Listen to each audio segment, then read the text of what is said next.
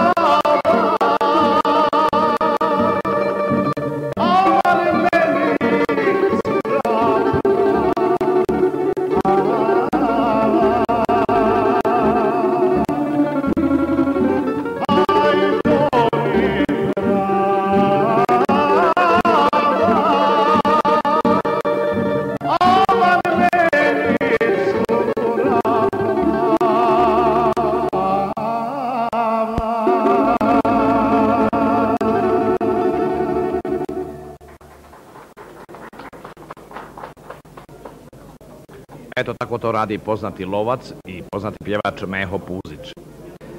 Poštovani gledalci, prošlog petka bio sam gost u jednoj emisiji na trećem kanalu televizije Sarajevo.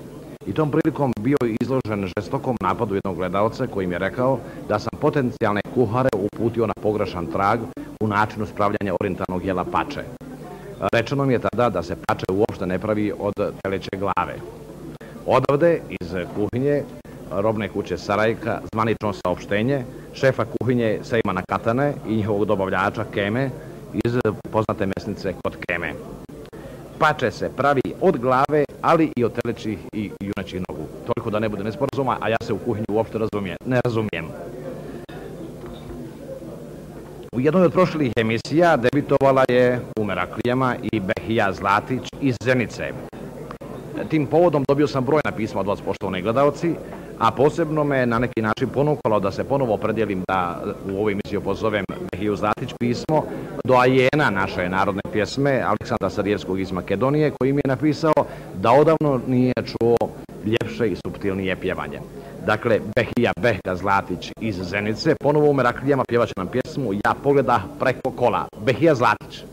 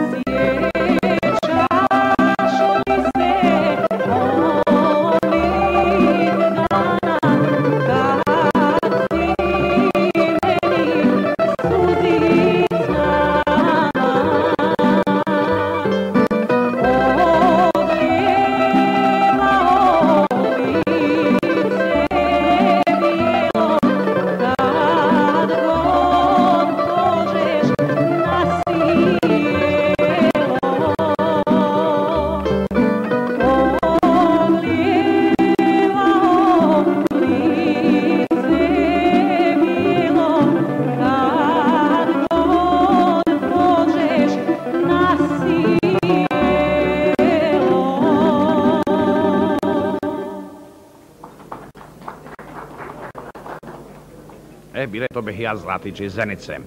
Evo u Meraklijama već ustaljenog gosta o kojem Aleksandar Sarijevski u svom već citiranom pismu kaže da peva decentno i meraklijski.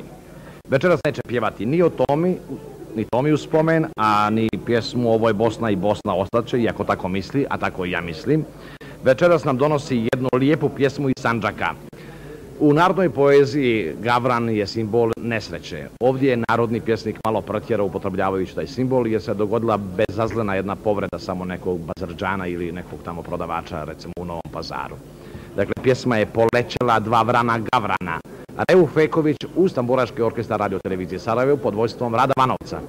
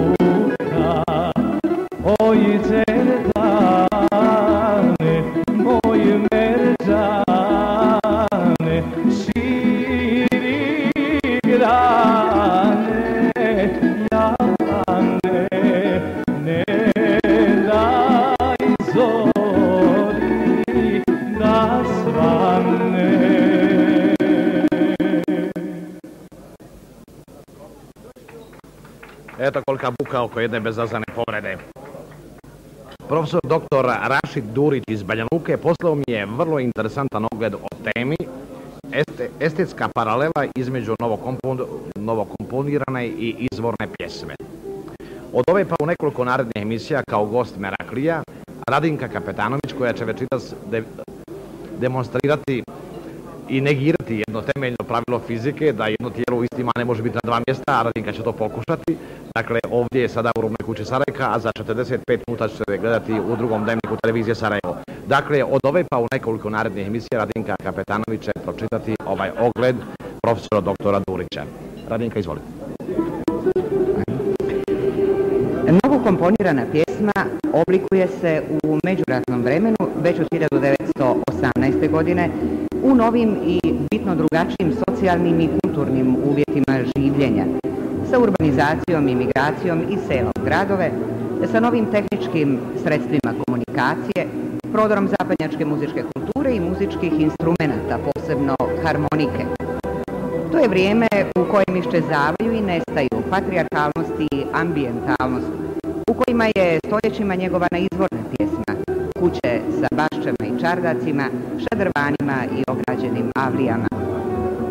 Iz vjekovima kultiviranih kutaka, porodice i intime, izvorna pjesma, u kojoj su genetsko-estetski hromozomi novokomponirane pjesme, se već u međuratnom vremenu našla na ulici, u Mejhani i Kafani, dakle u bitno drugačijem civilizacijskom okruženju.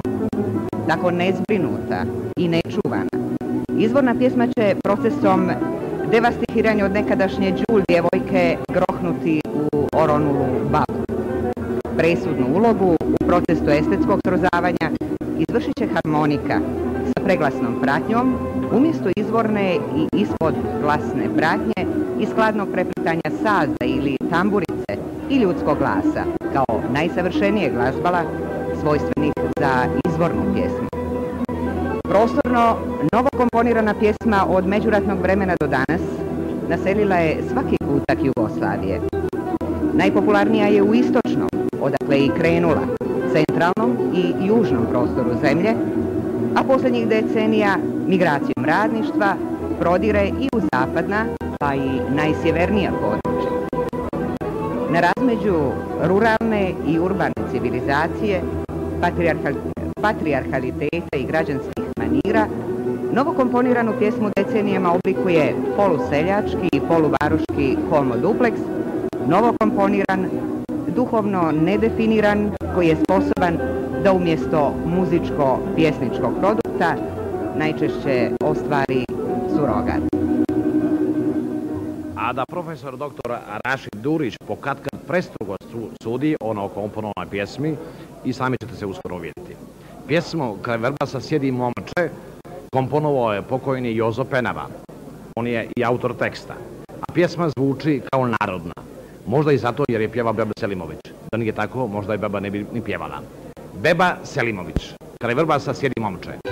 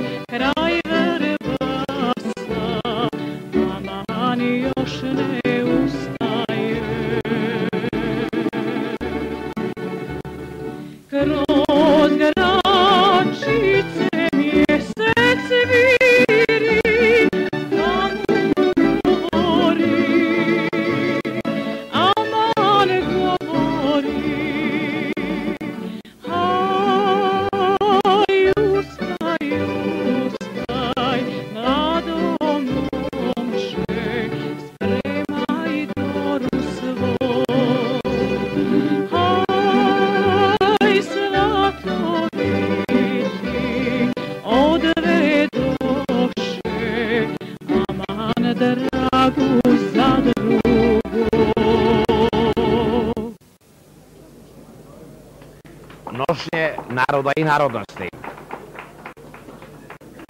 Stalna rubrika koju priprema profesorica Ljiljana Hadžidedić. Profesorica Hadžidedić, o kojoj nošnji večeras govorimo? Večeras govorim o hrvatskoj građanskoj nošnji iz polovine 19. vijeka. E, iz Zemaljskog muzeja donijeli smo, iz bogatog fonda Zemaljskog muzeja donijeli smo jednu nošnju, iz gradsku nošnju iz Kreševa. Njena osnovna karakteristika to su crne dimije, zatim libada sa bogatim zlatovezom i košulja sa čipkom. Na glavi su žene nosile malu kapicu, a kasnije su počele da nose i marame od tankog vunenog materijala. Oko pojasa nosile su pas sa kopčama koje se nazivale pafte. Osnovna karakteristika hrvatskih građanskih nošnji bile su crne dimije. To je proizašlo upravo zbog toga što su sve nošnje e, naših građanki e, bile pod uticajem carigradske mode. Jedino ovaj, hrišćanke i jevrejke nosile su odjeću tamnijih boja zato što je bilo propisano od turskih vlasti da ne muslimanke nose odjeću tamnijih boja. Hrvatska građanska nošnja sa crnim dimijama najviše se sačuvala, najduže se sačuvala upravo u malim mjestima srednje Bosne kao što su Vareš, Kiseljak, Fojnica i počele su čak da se nose u okolnim selima sve do polovine 20. vijeka. Upravo na našem živom manekenu, na našoj Arneli Konaković je takva jedna nošnja koja se nosi u okolini Kaknja sve do negdje polovine 20. vijeka i potiče iz porodice Franje Marića iz sela Bjelimića kod Kaknja. Tu također imamo crne dimije, pojas sa paftama i vrlo bogato oglavlje sa bogatim nakitom. Imamo ov, igle ukrasne bašlije i imamo e, privjeske sa strane koji vise pored marame. U toku zime građanke Hrvatske nosile su krznene, sa krznom haljetke. Evo da vidite kako je, kako je izgledala i zimska odjeća građanki hrvatske narodnosti. Ovo je, ovo je čini se i najskuplja nošnja koju smo do sada prikazali našim gledalcima. Recite, znate li kome je pripada ova nošnja? Ova nošnja pripada porodici Marić, ova koja se nalazi na Arneli Konaković, a ova druga nošnja iz Kreševa, ona je iz porodice Vuković, kupljena negdje krajem 19. vijeka iz. Kreševa. Dobro, profesorice, recite u sljedećoj emisiji o kojoj ćemo nošnje U govoriti. sljedećoj emisiji govorit ćemo o gradskoj jevrejskoj nošnji iz polovine 19. vijeka iz Sarajeva. Hvala vam lijepo, sada malo o jabuci. Jabuka i to crvena. Ima li većeg simbola ljubavi od jabuke? Zbog jabuke je i Adam napustio raj. I ne vjerujem da ima i jednog Adama na ovoj planeti koji bi odolio crvenoj jabuci koju poklanja Arnela Konaković. Procviljela crvena jabuka. Arnela Konaković.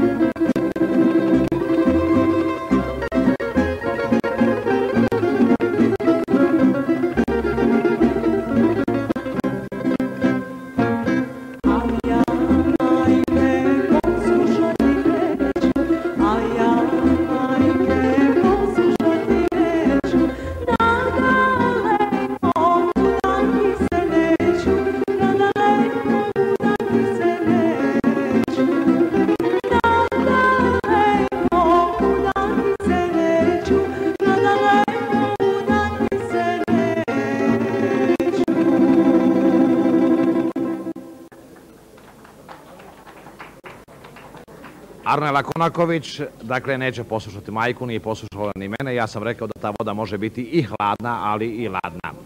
U Arnelinoj verziji je ta voda ladna. Evo, ponovo, poštovani gledalci, na vaš zahtjev jednog od najvećih meraklija. Da kojim slučajem nije krenula serija Meraklije, ko zna da li bi velika nepravda prema pravom pjevaču koji ima pravu školu pjevanja Orhanu Ahmagiću bila ispravljena.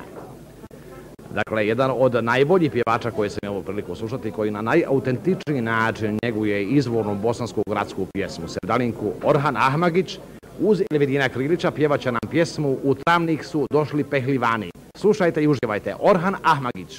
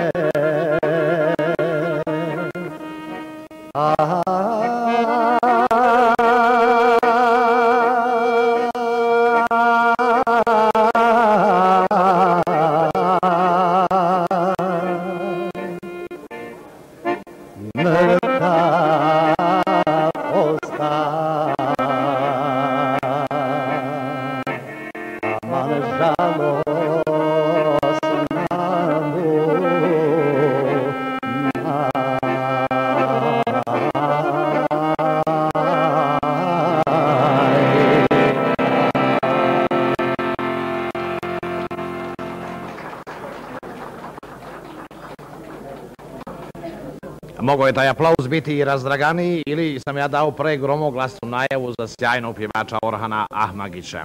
Ajmo još jedan put aplauz za doajena u narodnoj pjesmi Orhan Ahmagić. Tako je. A sada ćemo slušati pjesmu o Sokolu koji u narodnoj poeziji ima bitno drugčije značenje od Gavrana. Kada Soko leti visoko, to znači da je ambiciozan ili da ima vrlo određen jasan cilj. Takav cilj jasno određen, očigledno nije imao neambiciozni, a sjajni pjevač Slobodan Lalić. Da je bio ambiciozni, mogo je neuporedivo više napraviti. No i onim što je postigao taj skromni čovjek je veoma zadovoljan. Slobodan Lalić i pjesma Soko mi leti visoko i naš narodni orkestar kojim rukovodi Slobodan Vidović.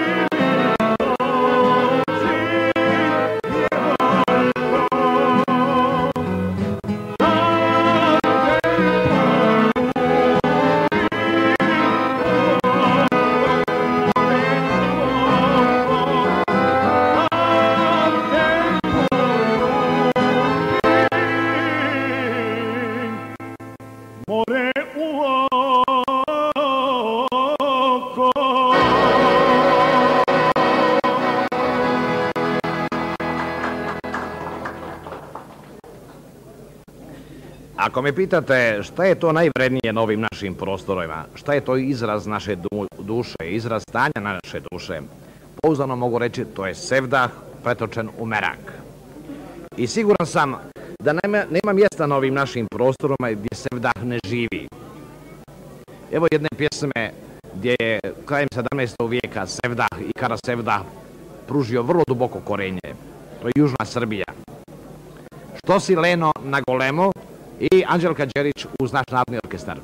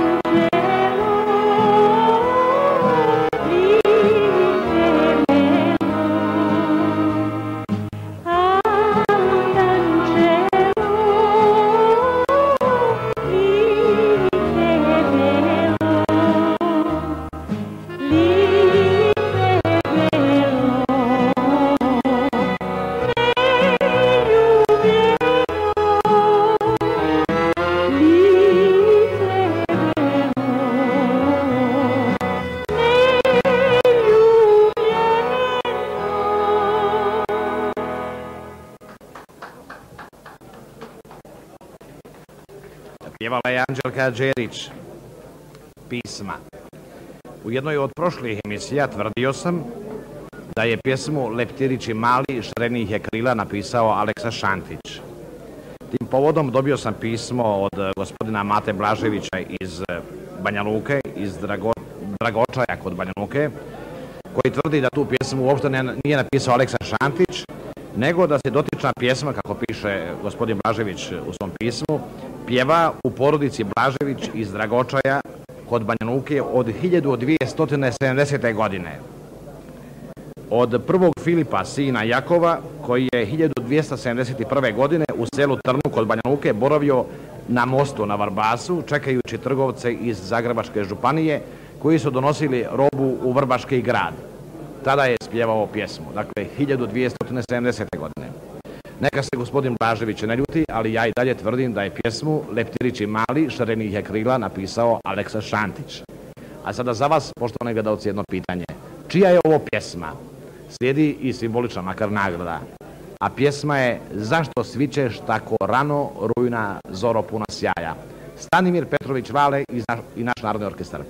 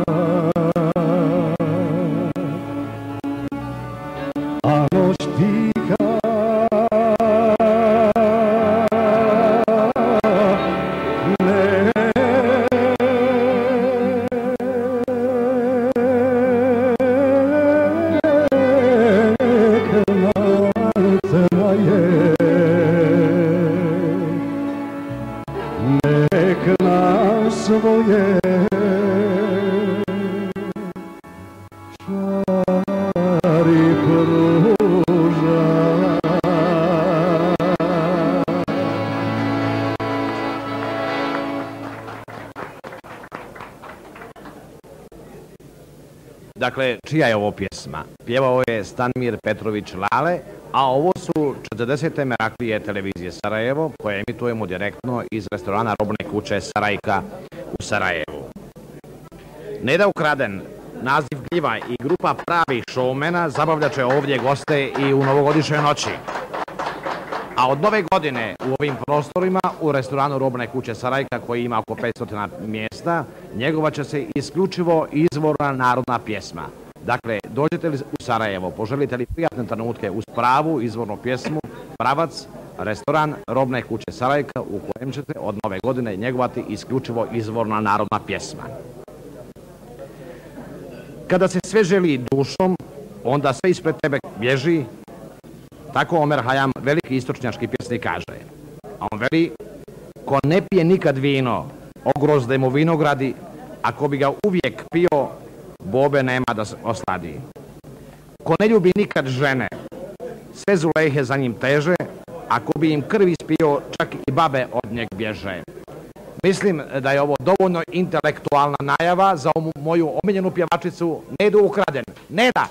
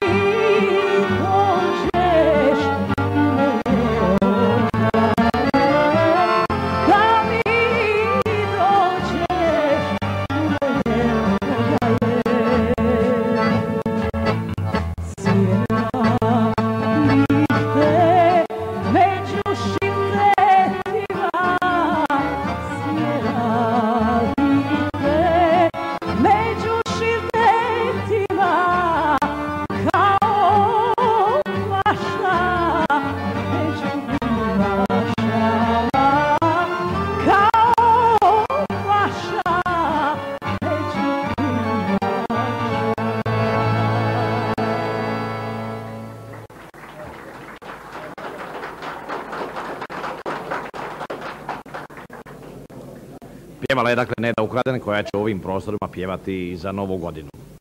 Mislim da nema stanja ljudske duše koji nije opjevano barem u jednoj sevdalinci. A djevojka za Đerđefom, dok veze vez, ona zapravo pretače svoje stanje duše u neke svojevrsne hieroglife. E, vez i Đerđev je čest motiv u narodnoj pjesmi. U 40. meraklijama slušat ćemo jednu rijetku izvođenu pjesmu. Riječ je o pjesmi Na Đerđevu vezak vezla fata. Pjevat će nam Nihad Alibegović.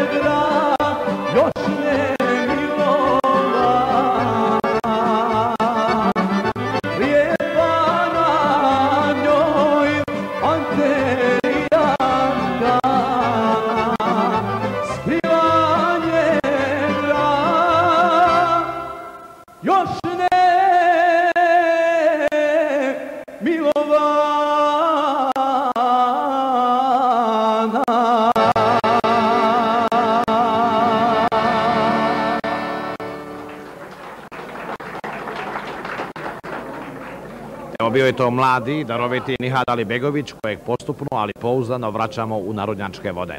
Evo i naše stalne rubrike koju smo uspostavili od prošle emisije iz repertoara Rajka Simeunovića. Rajko Simeunović je večeras s nama zahvaljujući razumijevanju svoje firme Tuzla Trans, ali i razumijevanju sarajevskog biznismena Hajre Hadžalića, vlasnika firme San Commerce. Dakle, Rajko Simeunović i pjesma Mlad Omere na kuli sjeđaše. Rajko.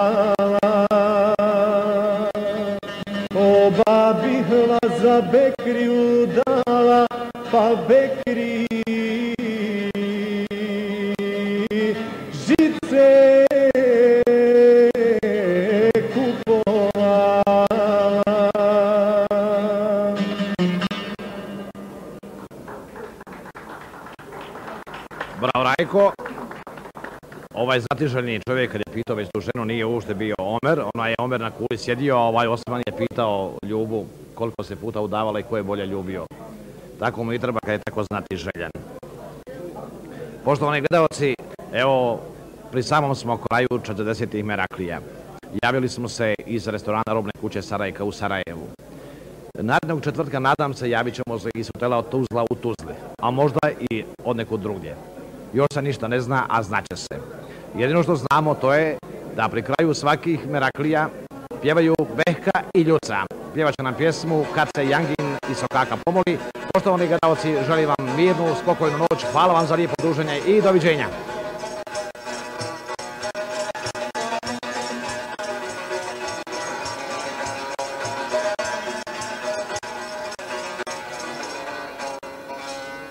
Kasi Jangin